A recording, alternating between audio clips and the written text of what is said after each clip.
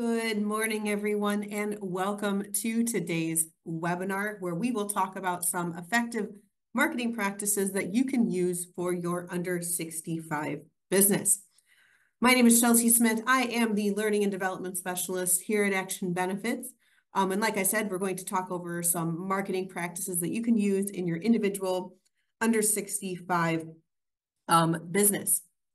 So I um, we've hosted enough of these where I don't think I need to go over anything other than just, hey, sit back, relax, enjoy the show. And if you have any questions, please feel free to use the chat or the Q&A feature to answer those questions or to ask those questions and I will answer them as soon as I can. So without further ado, let's go ahead and get started here today. So by the end of today's course, hopefully you should be able to describe a sample insurance customer's buying journey. So what kind of goes through the mind of one of your clients when they are looking to purchase some health insurance from you. Um, how to identify various outreach methods to support customers throughout their buying journey, and how to identify tiers of the Health Insurance Marketplace Circle of Champions recognition program. So judging by these outcomes, you should gather that this is like an overarching um, marketing uh, webinar today. I'm not going to go too much into specifics. If you're interested in specifics, um, how to do certain things, um, we have a ton of resources available for you on YouTube of previous webinar webinars that we've recorded that you can watch to kind of learn maybe how to handle some negative reviews, how to uh, increase your presence online, how to create ads that work on Meta. We have a bunch of different different options for you. So if you're interested in those individual nitty gritty details, um, we do have a Meta ads one coming up in November as well. If you're interested in that with Randy, check that out. But just keep in mind, this is overarching. I'll answer any questions you have about nitty gritty details, but this is meant to be a little more overarching. So as we think about the variety of marketing strategies that we have available to us as health insurance agents, it's important to kind of put them into context as to where they fit into the beginning to end process that a client will go through when they're trying to purchase health insurance. Um, every customer is going to be a little different, but there is a common used model, a 101 type model that we can look at um, that outlines in general what happens when someone goes to make a purchase, basically of anything, not just health insurance. So if you're someone selling other things, maybe you do uh, cookies on the side, which in that case, let me know so I can get some awesome cookies from you. But in general, when someone is purchasing anything, um, this is the journey that they're going to go through. So the first, if I'm, um, I'll use examples. Um, if someone it, uh, purchased health insurance and kind of never um, talk to an agent of what those examples of those uh, stages kind of look like. So the first stage is the awareness stage. And this is where a consumer realizes that they need something, that they need to purchase something to solve a problem for themselves. Um, in the insurance world, it would look something like, oh my gosh, I'm so proud of myself. I started this new business. Um, it's really going great. And then they were like, wait, wait, wait, wait a second. Um, I don't, I don't have any health insurance crap, yeah, I gotta buy something, right? Um, and then consideration would be where the where that same person would start to evaluate products, maybe look at some reviews, um, surf the marketplace, maybe go on some carrier websites, um, talk to people about it. Hopefully, this is where they find an agent um, to help them pick out what is right for them. And then the next is the purchasing stage, where as you might guess, this is where a consumer is going to then enroll in coverage or hit that buy now button on Amazon or head to the mattress store, whatever it is. Um, onboarding, this is where they first use and experience the product. Um, so this would be where they'd get emails from you or from the carrier um, to start understanding their product. And then advocacy is the final stage. And this is where clients shout, hopefully, the good word about your product from the rooftop. And if you weren't there to get that done for them, or if that did not happen, then you're going to get some crickets, right? So this is, we want to capture them before that point so we can reap the benefits of the advocacy stage, right? Because if they're just doing health, if they just did it themselves, well, they're just going to advocate for themselves.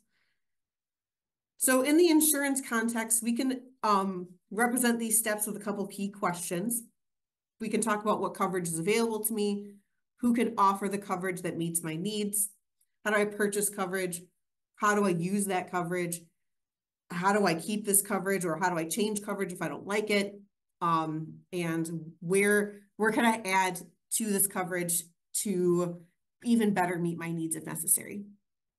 So like we said, every customer is different. There is not going to be one person that fits every single one of these boxes, right? Um, I don't know if you ever heard the story about the fighter pilot thing where they made the average plane cockpit for the uh, pilot and then nobody actually fit that average. There's no one average person. And it's the same thing for purchasing stuff, right? Everyone goes through their own journey. Um, you know, some people might not consider anything, just buy the first thing they see. If it's something cheap or something easy, um, or they might take years to find the right thing, right? But everyone is different, but this is in general what they're going to experience when they're trying to purchase something. So then we need to examine as the agents where we fit in each one of these parts, right? We're going to kind of tackle the assignments a little differently depending on where we enter in in this portion of the journey for that client, right? So at the awareness stage, we have two goals, right? So when we first, when the, the customer first is aware that they need something, we're going to have two goals here.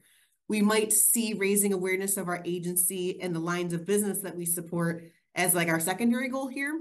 So we're going to, we obviously that is something we want to do, but at the end of the day, we have a primary goal here of, of kind of collecting that person and getting them in our clutches and getting them interested in what we have to sell and getting their attention and heading them into the consideration phase, phase right?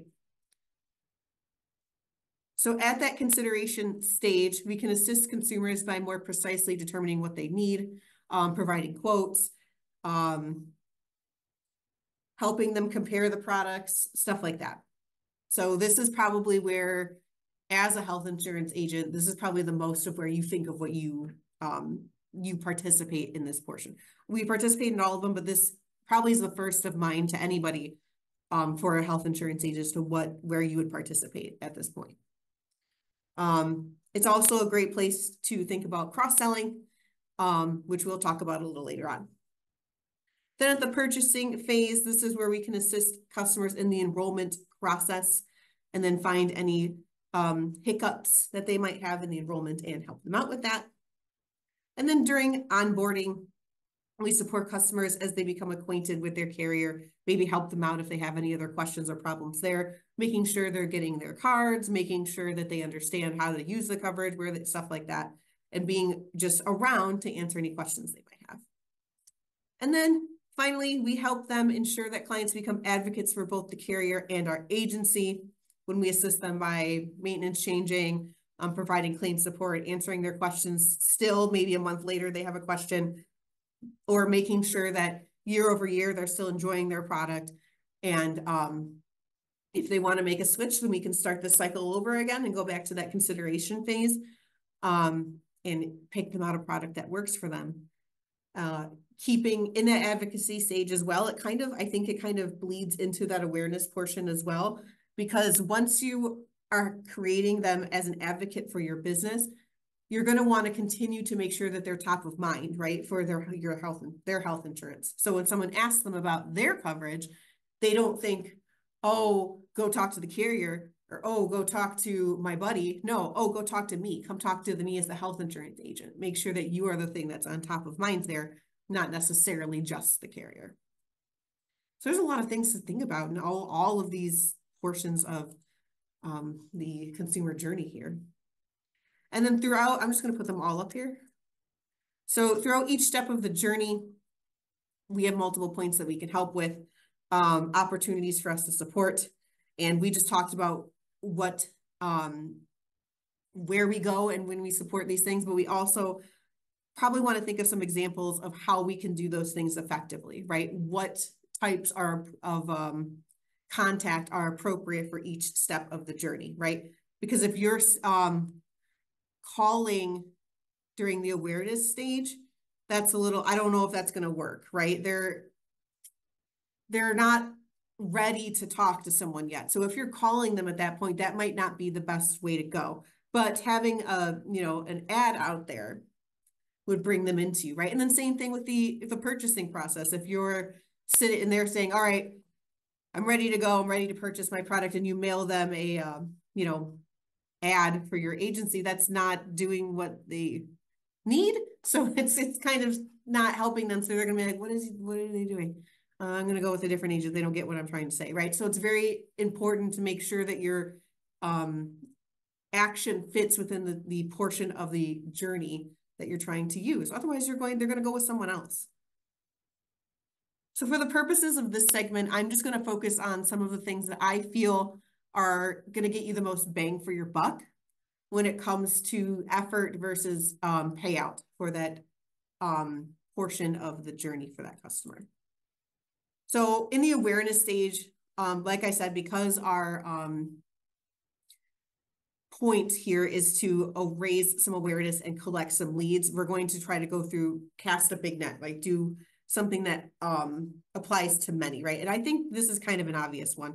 Um, you just kind of want to put out um, print, digital, print and digital ads. And if you are a seasoned and established agent, um, you're going to have that word of mouth um, advertisement for yourself as well. But if you're a newer agent, um, you're going to want to particularly focus on that print and digital media aspect, um, using those um, ads that are uh, provided for you, those draft ads from your carrier, or making stuff on your own, depending on how detailed you want that ad to be.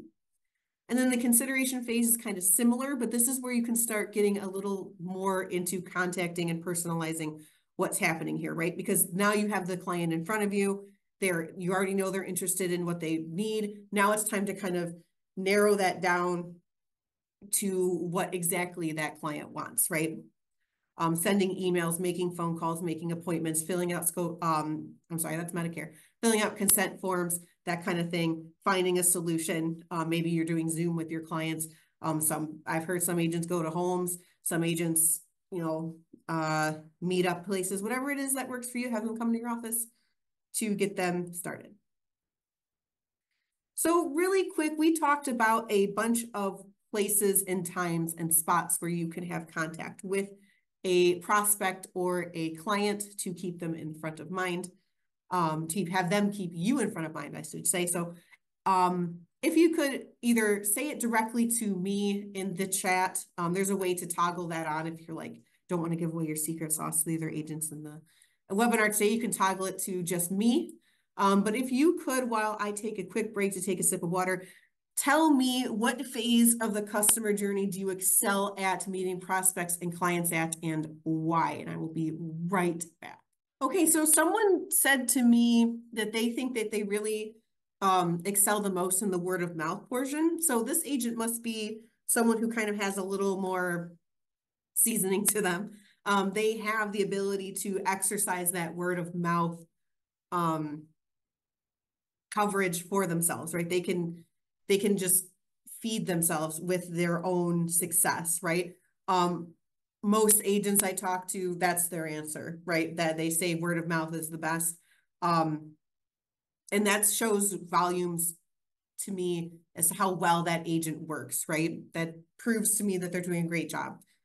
Um, but if you're newer to the health insurance world, it will be a little more difficult to get those word of mouth um, referrals. Just really hammer home how important they are to those who are showing up, who you are gathering through that print media, who might be showing up to your um, office, walking in, whatever. Just really make sure that you are explaining to them the value of that word of mouth if that if you're a newer agent because at the end of the day i think that still is the most valuable way um but i can't just tell you that and move on because then that's not how can you help yourself out in other ways right so that's something to keep in mind i think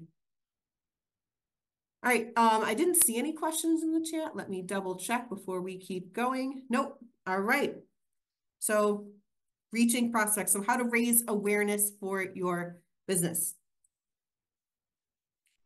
So there's a bunch of different ways you can acquire leads. Um, it just depends on how you want to go about it. We always encourage you to seek high quality leads rather than a quantity of leads. And there's vendors out there you can purchase leads from, but the clients on the other side of that data don't yet have a relationship with you. Um, a positive experience submitting their information, whether that experience takes place at a marketing event in front of you, uh, from a postcard, from your website. Um, that's even that little bit builds so much more towards building a relationship and keeping that client and prospect right in front of you in comparison to just like getting a name off of a list. Um, because oftentimes those lists, as we probably already know, are built off of someone like clicking on a link or um, calling a number, and then you just kind of get that lead from there. And while it's something, um, it's nowhere near as warm as someone who comes to your website, fills out a form, and it says, "Hi, I'm I'm interested. I'd like to um, explore your products more with you." So, um, if you do choose to use a lead vendor, make sure that you're locating the types of leads that work for you, um, and make sure that you are responding to those people quickly because those leads are the most um, cool, right? So, like 30 According to the Brevet Group, about 30 to 50% of sales go to the vendor that responds first and responds most often to them. So you're going to want to, if you're using those leads, respond quickly and um, often. Even an automated email is something, it's not the best. You're going to still want to talk to them as soon as you can. But an automated email at least shows them, hey, like I, you're in front of mind of me. I will get to you as soon as I can in comparison to just nothing. Um, it's also helpful to remember that 80% of sales require five follow-ups according to the marketing donut. That means that it's helpful to map out ahead of time what you're going to do with that client to make sure you hit those five follow-up contacts, right? So even if they don't need five follow-ups, you again, for that front of mind thing, you're going to want to continue to make sure you're talking to that client and getting them the attention that they feel that they deserve so that you they will word of mouth talk great about your business after everything is said and done. So there are three strategies that we like to um, talk about to bring attention to your business. There is print media strategies, word of mouth strategies, and digital media strategies.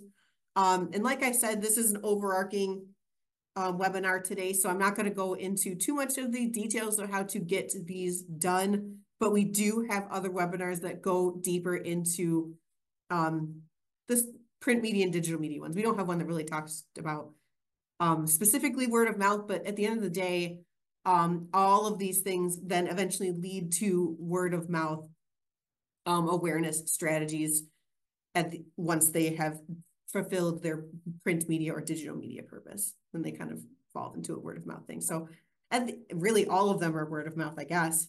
Um, so we'll talk about these three kind of like overarchingly. It's likely that the carriers you work with will provide a number of resources for you. I kind of mentioned that earlier.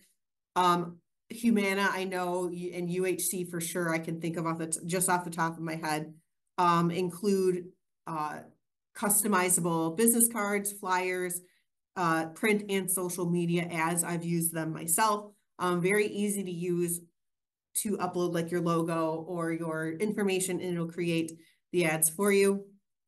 Um, that's kind of what we tend to recommend that agents do, especially if you work with Medicare in any stretch of the imagination. It's always better to just go with something that you know is CMS approved so you don't have to deal with any headaches or mess later. Um, but if you're doing strictly under 65, it's a little less stringent. So you might be able to get away with doing a little more creative work on your end to create some of these print media or digital media. Um, we call them creatives, like flyers, stuff, stuff like that.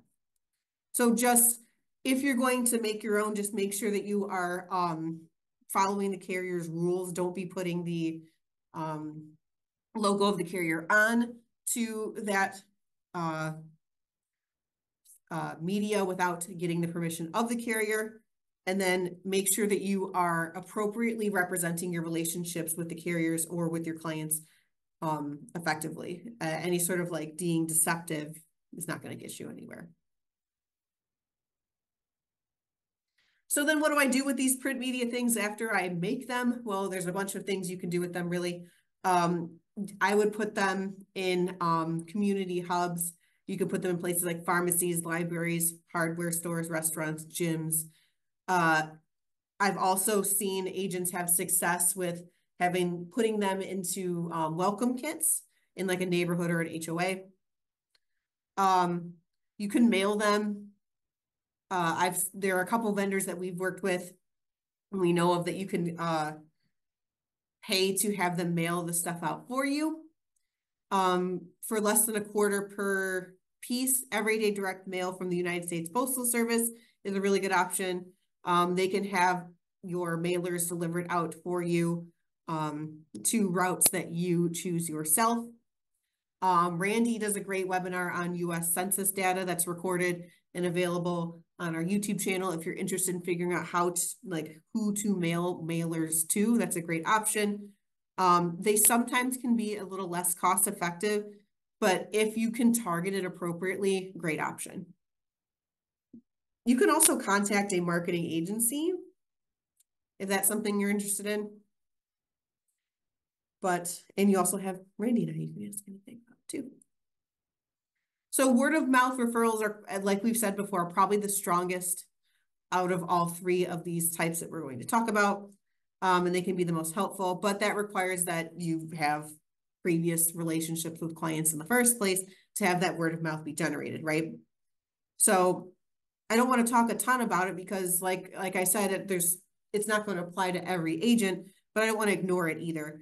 Um, so a lot of the, and a lot of the ways you get word, word of mouth business just bleeds into other um, types of media or types of uh, ways to get clients, right? So overall, it's just great customer service, right? Serving your customers, making sure that they feel heard, making sure they feel like you are, are on their side and you're not just there to make a paycheck, right?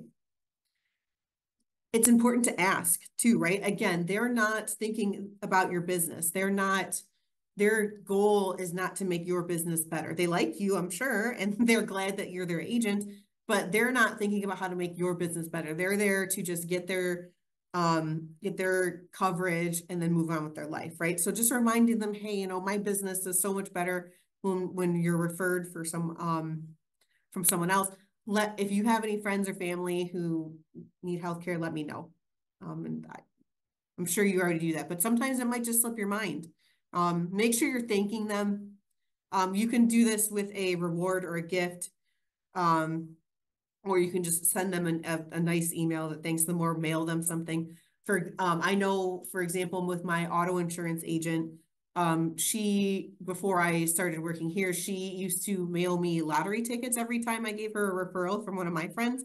And course, it only happened once, but like, man, was I super interested in making sure that I um got her a uh, a referral after that because I wanted to get more more lottery tickets from her. It was really cute, actually. So I'll never forget that. And now, whenever I have an auto insurance thing, I would go to her. Um, recognizing your customers. Some customers would enjoy this. Some might be a little less apt to enjoy this. But reposting on social media, um, talking about their um, successes they had with you, and you could even do them anonymously um, posting them on your social media accounts or post even posting them up in your office, putting them on your um, flyers, stuff like that. Just um, those testimonials of great service that you give and then recognizing them, giving them kudos for giving you that. And then reminding people every once in a while when it makes sense for you to contact that client. Anytime you're in contact with them, remind them like, hey, you know, um, I'm still here, right? I know my um the guy who does my leases for my car every year for my birthday sends me a little postcard saying, "Hey, you know, can't wait to see you again when we lease again." And that keeps me at the top of mind, keeps um, him at the top of mind for me as well, right?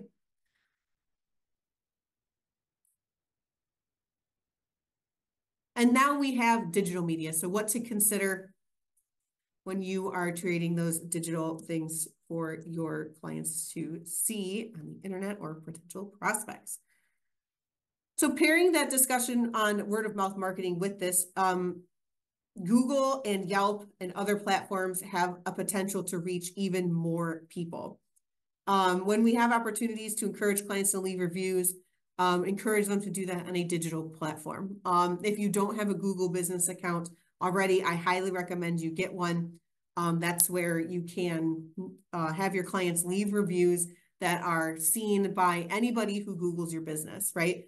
And on top of that, it's really important that I feel that I feel like that you controlling the narrative what your of your business is important and having that Google profile means that you are in control of whatever pops up first when your business is Googled.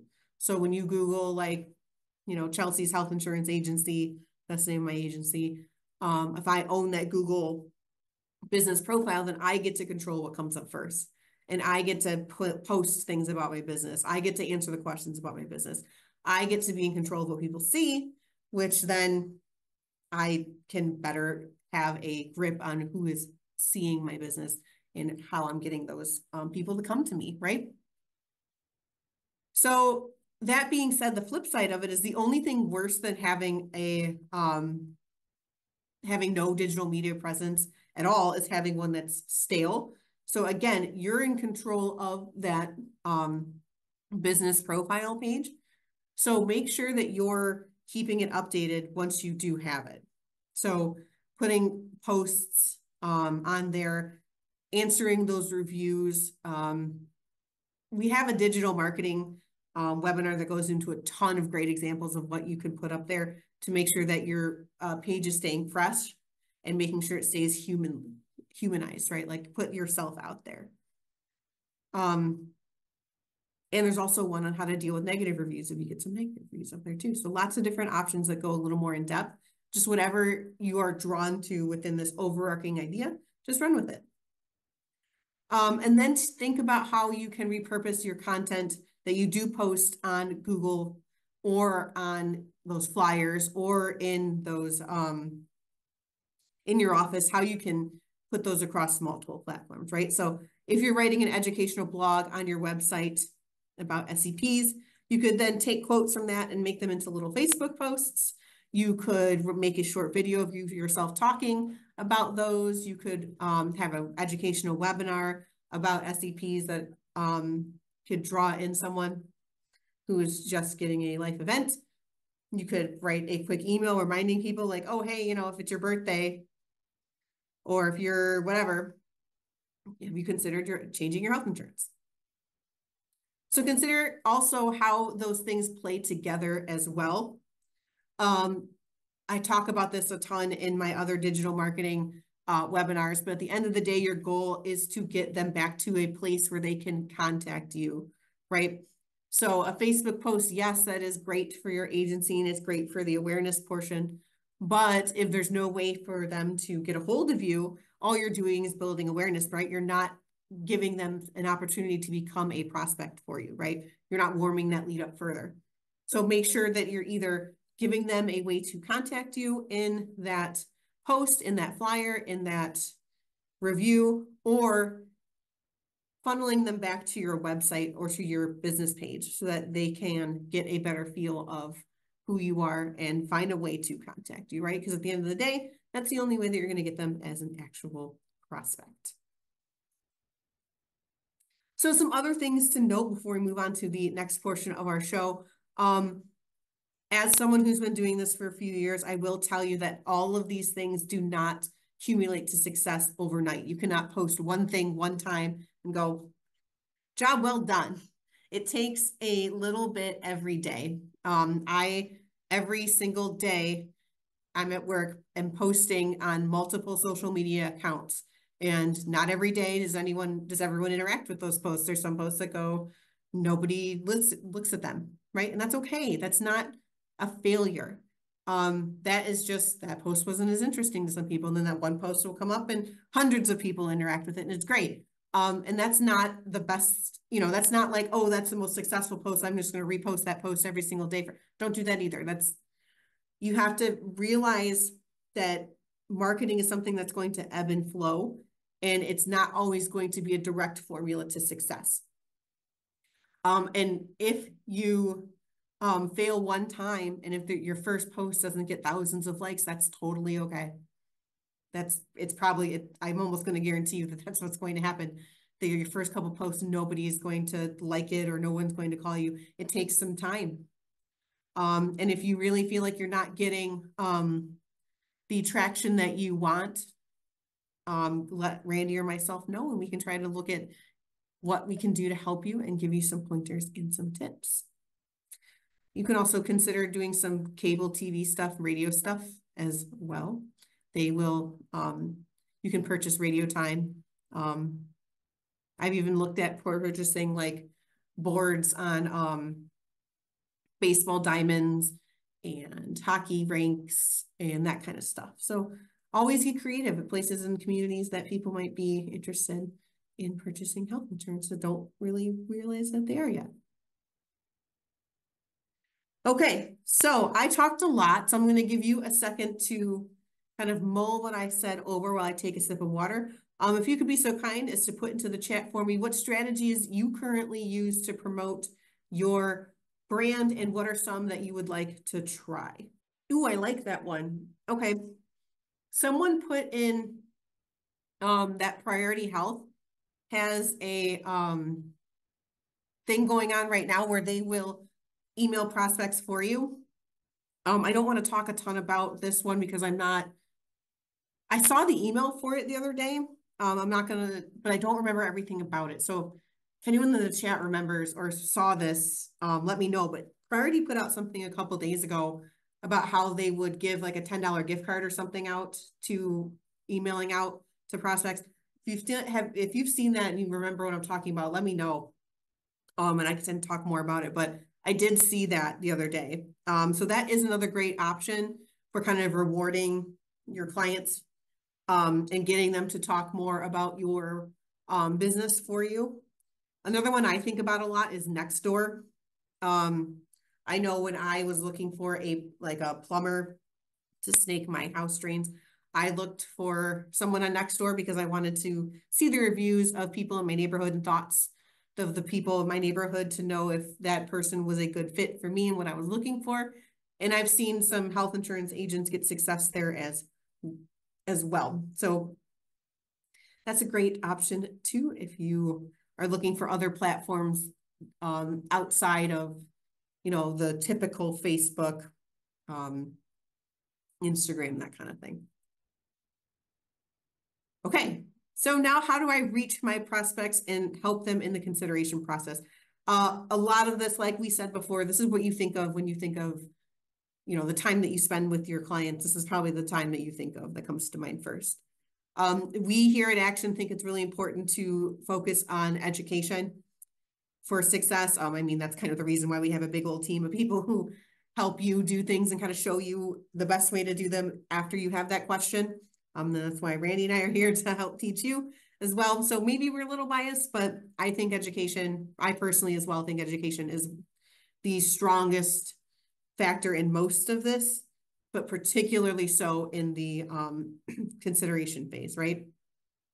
So according to a report from the Kaiser Family Foundation, which I'm sure you're familiar with, about 20% of marketplace consumers seek help from someone they don't know to help them find the right coverage.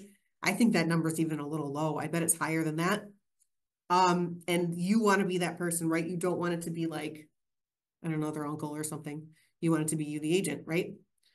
So in that same report, 61% of marketplace enrollees had difficulty doing most of the things that they need to do to get health insurance, whether that be defining a plan that, that fits what they need, comparing the cost, comparing network, all that. They basically find it hard to do all of those things. And I don't blame them, right?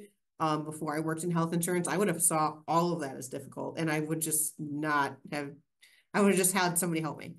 Um, there is a market for people who want that assistance, but 40% of them aren't necessarily thinking that they should reach out to an agent and say, you know, looking back when, when before I worked in health insurance, I would have said the same thing, right? I would have said, you know, um, it, I didn't know that health insurance, I probably wouldn't have even known health insurance agents existed because I always had employer health insurance. I would have just signed up and thought, oh, that's just what HR does. No, there's there's someone else behind the scenes who's doing this stuff. Um, so even getting that idea out there to your clients is great.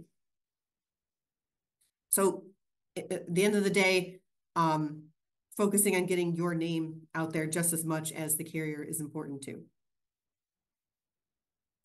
So there's two main ways that you can provide support to your prospects and current customers.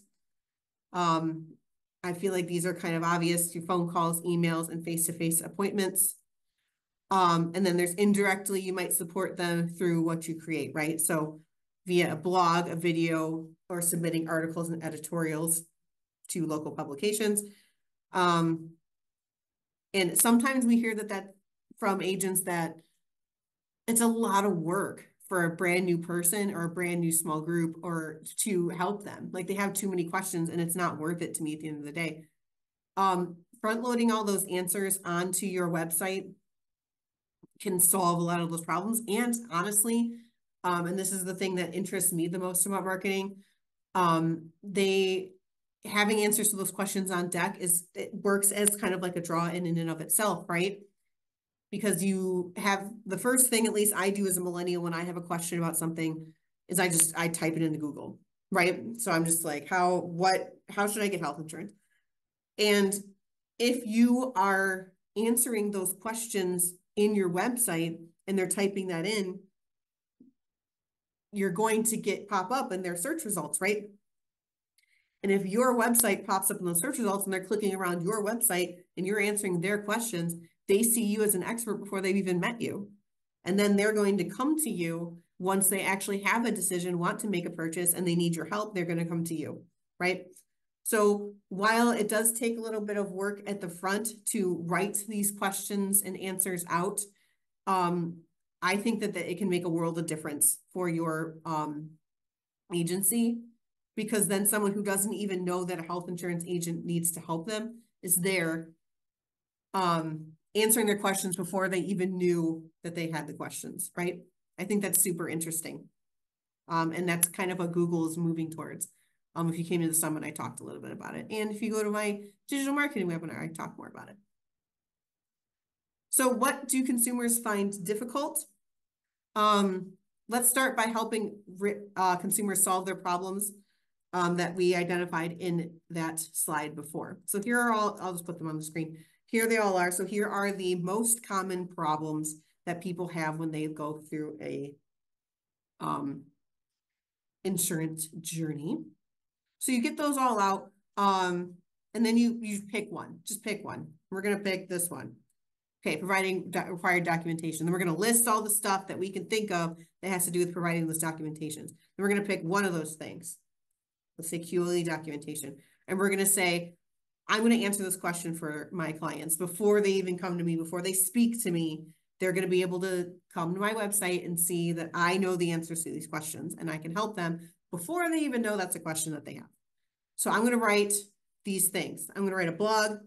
I'm going to write a video. I'm going to videotape myself talking about it and put it on social media.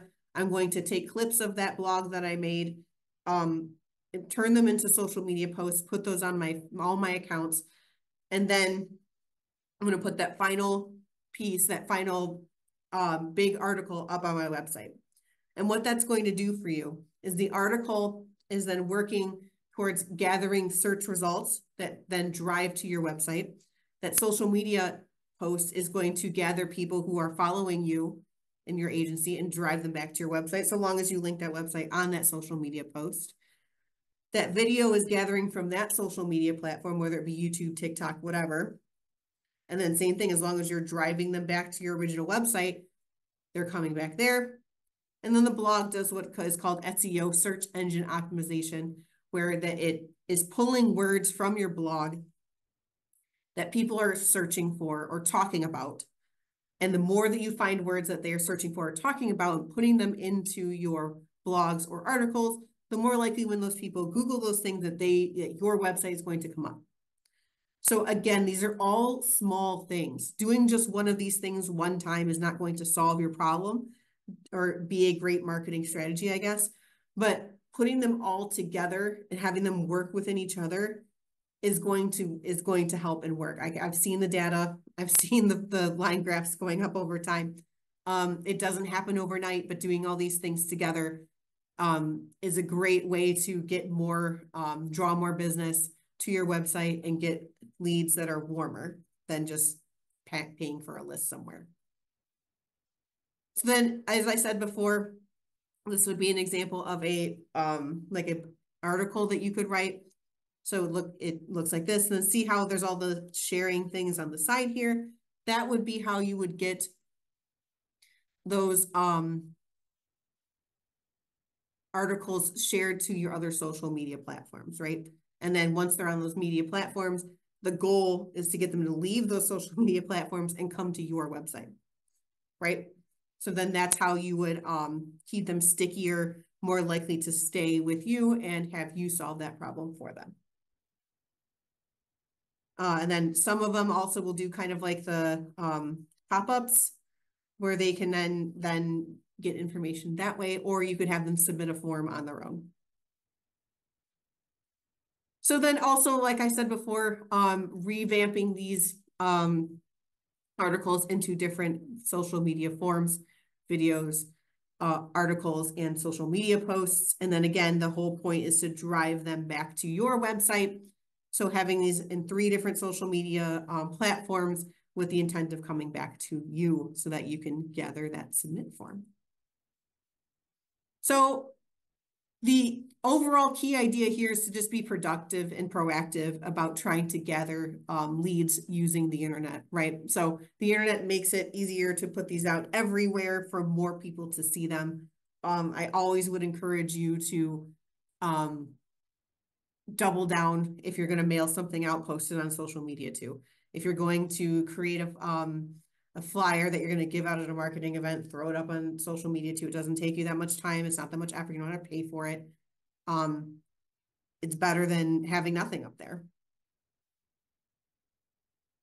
So um, I'm going to take a quick sip of water before I get into my next topic, but I'd like you to think for a moment about what are some of the channels that you might use to reach and support your consumers that I have not talked about. One that I like, um, that I did not mention yet, and I wish I would have mentioned it earlier, is making sure you're registered on Find Local Help or Help on Demand. Um, that's the website that if you go to, that if someone goes to searching, goes to the marketplace and tries to search for coverage um, and gets stuck and they want help, um, it will send um, a message from them to the most local agent to them. And then another um, good aspect is if you speak another language or if you are able to support other um, languages other than, than English, if you put that into that account, it will prioritize you for someone who needs another language support system. So if you're specializing in like Korean and you um, want to help the Korean market, then you could say, hey, I speak Korean. And then anyone in the area um, who needs a Korean uh, translation service, um, even if you are farther away than another agent, it will prioritize you because you're going to be more helpful since you can speak their language. So make sure that you are on Find Local Help and that that information is up to date if you are interested in doing that. So then the Marketplace Circle of Champions um, is something I'd like to talk about really quickly. Um, CMS has created this uh, annual recognition program for marketplace registered agents and brokers and recognizes agents and brokers who assist at least 20 active marketplace enrollments during open enrollment. Um, you do have to complete a current year marketplace registration and training requirements, have a valid NPN, and an approved active health related line of authority in the states in which you are licensed to operate. So only the applications that are um, completed during open enrollment count for this circle of champions. So just keep that in mind. But who doesn't want to be a champion, right? So there is the circle of champions for 20 to 99 active enrollments. There's the Elite Circle of Champions for those with 100 to 500 enrollments.